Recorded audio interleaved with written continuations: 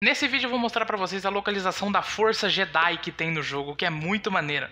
Bom, para você poder ter a localização da Força Jedi, você vai precisar chegar no desafio do Doom, que eu postei recentemente. Então eu vou deixar o link do vídeo de como chegar no desafio do Doom certinho, com o link na descrição, você vai lá ver onde chega e depois você volta aqui para você saber como pega a Força Jedi, beleza? Então vamos começar. Iniciando o desafio do Doom, é simples, você vai simplesmente esperar o tempo e vir aqui pro lado, pro lado direito, né?